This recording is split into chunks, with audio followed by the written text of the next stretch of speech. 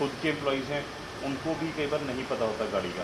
आप करते दिखाइए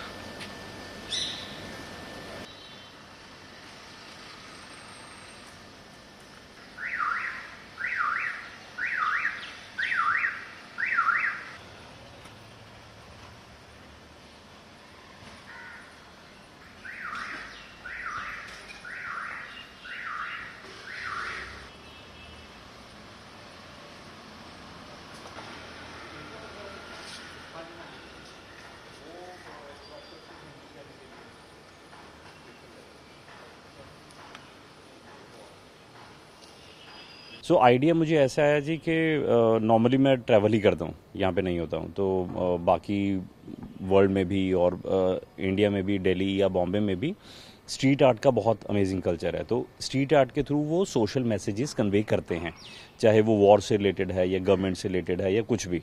तो अब टाइम पे जैसे मैं बाहर नहीं जा सकता था घर पे ही था तो मुझे ऐसा लगा कि आर्ट तो है मतलब मैंने सीखा नहीं लेकिन मुझे शौक है इस चीज़ का। तो मुझे लगा कि अपना गैराज का डोर है ये। और इसी पे एक होप क्रिएट करने के लिए लिखा जाए, कुछ बनाया जाए, ताकि जब भी कोई आसपास गुजरता है, उसको ऐसे लगे कि हाँ भाई, होप है। होप इस चीज़ की कि एक दिन ये सब कुछ ठीक हो जाएगा। होप इस चीज़ की कि जो लोग हॉस्पिटल में एडमिट हुए हैं, वो ठीक होकर अपने घर वापस आएँगे। तो एक होप उन सबके दिलों में जगाने के लिए मुझे लगा कि होप ही हमें लिखना चाहिए। और एक जैसे आप देखेंगे कि भाई, आँखों में एक थोड़ी सी उम्मीद है और मास्क भी पहना हुआ है। मास्क के साथ एक मैसेज आ रहा है कि भाई, हम सब लोग ने ये कोरोना के जो प्रोटोकॉल्स हैं, इसको फॉलो भी करना है। अब ये देखते देखते मेरा कुछ ऐसा प्लान नहीं था कि मैंने बहुत सारे ये बनाने हैं, लेकिन लोगों ने इतना अप्रिशिएट किया और उन, उन्होंने जो कम्युनिटी है, मुझे लगता था कि ये सिर्फ़ मेरी ज़रूरत है। मेरा अंदर का आर्टिस्ट कह रहा है कि यार ये बना के आओ। नहीं कम्युनिटी को ये आर्ट मुझसे ज़्यादा चाहिए। वो मेरे पास आए, लोग जो क्रॉस कर रहे थे, घूम रहे थे, हमारे आसपास नेबर्स हैं जो, उन्होंने बोला कि आप बाकियों पे भी क्यों ना बनाओ? है ना? मैं ये तो प्राइवेट प्रॉपर्टी है, सब पे नहीं कर सकते। तो दे अलाउ मी कि भाई, लोग आके इट्स लाइक ए डोनेशन कि वो अपना गैराज का डोर या अपनी वॉल मुझे डोनेट कर रहे हैं। To spread this positive message तो ऐसे करते करते अब ऑलमोस्ट uh, पाँच हो चुके हैं और कम से कम मेरे पास जो रिक्वेस्ट आई हुई हैं वो दस पंद्रह रिक्वेस्ट हैं।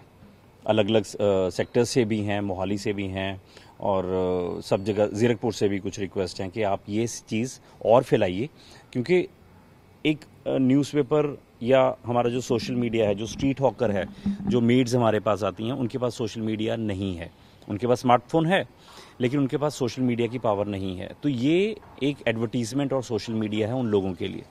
मैंने पूछा कुछ स्ट्रीट हॉकर से कि अगर आप, आपको अंग्रेज़ी नहीं आती पढ़नी तो आपको समझ में आ रहा है? कहते जी, हमें बिल्कुल समझ में आ रहा है।